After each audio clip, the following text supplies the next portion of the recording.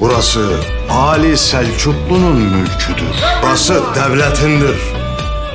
Burada bey de benim, devlet de benim.